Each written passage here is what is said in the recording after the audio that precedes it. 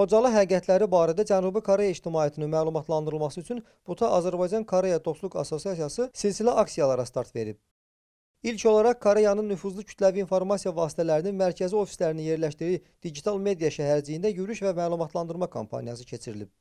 Aksiya iştirakçıları yerli ictimaiyyətə Xocalı soyqırımına dair Koreya dilində hazırlanmış bukletlər paylayıblar. Koreyalılara Xocalı soyqırımı barədə ətraflı məlumat verilib.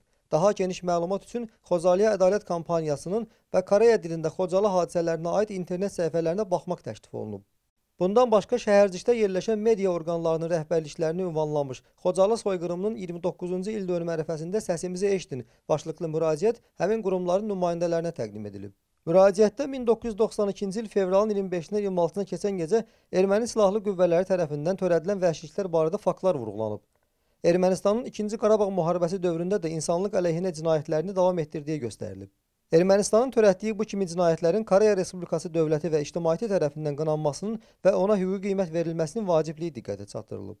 Bu ərazidə ə, qısa zamanda daha çox insana həqiqətləri çatdırmaq üçün biz bu pandemiyanı da nəzərə alaraq ə, kütləvi şəkildə toplaşmaqdansa qısa müddətdə daha çox insana ə, öz haqq səsimizi çatdırmaq üçün media orqanlarına xüsusi müraciətlər ünvanlamışıq və bu ə, kampaniyada Az Azərbaycanlılar, Koreyada yaşayan Azərbaycanlılar, fərqli-fərqli şəhərdən olan Azərbaycanlılar, tələbələr, iş adamları və səfirlik nümayəndələri birlikdə iştirak edirik.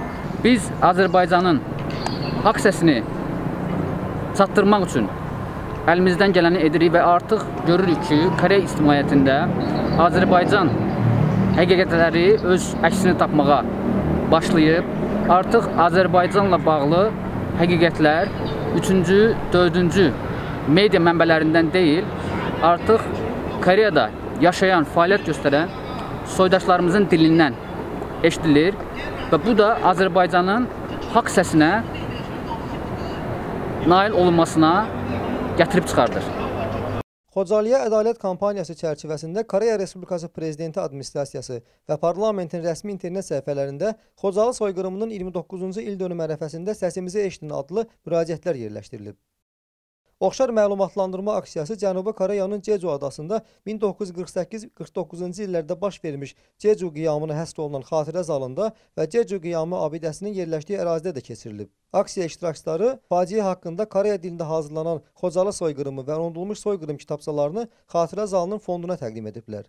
Həmin kitabçalar gələcəkdə ziyarətçilərə əl çatan bir yerdə nümayiş olunacaq.